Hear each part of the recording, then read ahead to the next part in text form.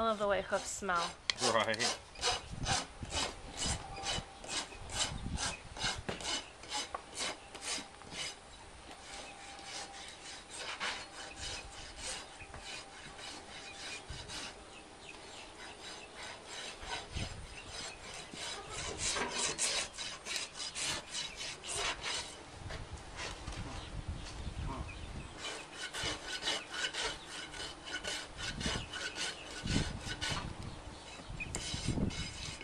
Maybe I should try the fly spray again. That was our that was our thing last time. Uh huh.